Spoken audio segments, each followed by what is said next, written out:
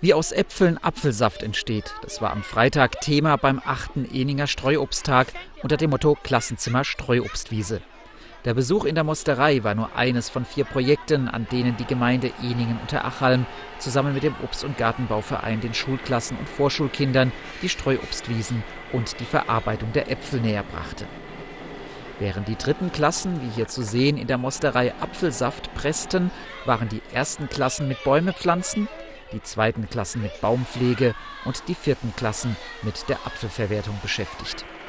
Der Streuobsttag soll die Eninger Grundschulkinder jedes Jahr auf die Bedeutung der Streuobstwiesen für die Kulturlandschaft am Fuße der Alp aufmerksam machen.